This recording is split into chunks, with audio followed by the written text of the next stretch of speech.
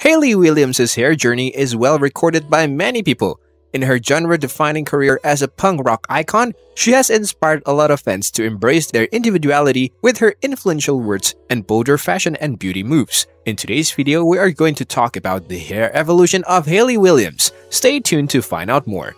Hayley Williams' fiery hair revitalized the punk hair movement. Williams' fiery locks in her band Paramore 2007 smash hit Misery Business was the beginning of a transformative punk hair journey.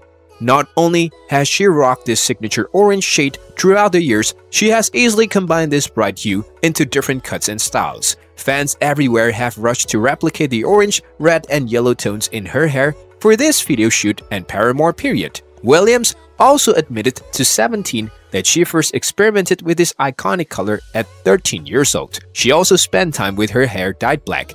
You can just imagine 2007 Hayley Williams at the peak of the pop punk scene without her tree-colored locks. In 2008, she traded in her popular vibrant hairdo for a darker look at the 50th Grammy Awards. She also dyed her hair burgundy with pink highlights but kept her side bangs. In 2013, she went back to her color blocking roots, Shutterstock.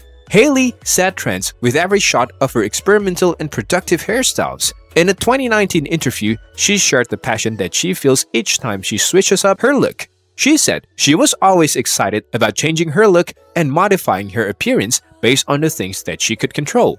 Hayley Williams proved that two colors are better than one at the 2013 MTV Movie Awards. She chopped off her side bangs, grew out her hair, and colored it fluorescent pink and orange. This edgy look started off Paramore's self-titled album period and went on to show off the singer-songwriter's playful side. Months later, she had one of the greatest fashion moments at the 2013 Teen Choice Awards. In a bold move that had Paramore fans taking messages, she cut her wavy, two-tone locks and brought back her signature orange color. Her chop bob gave off a more mature vibe and praised her band's new sound very well. Her electric blue face hinted at battles of her personal life.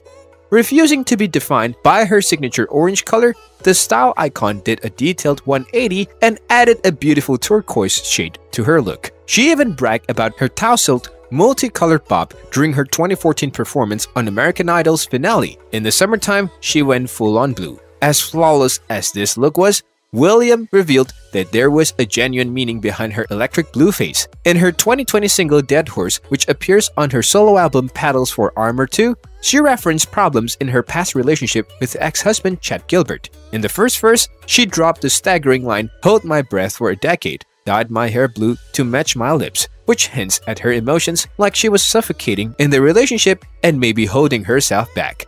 When talking about the song with Rolling Stone, Williams got weak and admitted that her relationship with Gilbert started off as an affair, a confession she struggled with the entire time they were together. Since the start of her career, she has used her hairstyle, fashion, and music as an outlet for her private struggles, which is what makes her fans relate to her. She said goodbye to Neon Hayley in the mid-2010s and welcomed in a softer look. In 2016, after spending years with both hues and haircuts, Williams left her neon dyes and debuted a platinum blonde hairstyle in an Instagram post while celebrating her 28th birthday. She has bleached her hair before, but this look marked the start of a new period for the punk-turned-indie pop singer. In an interview, Williams shared the emotional influence that her hair has had on her.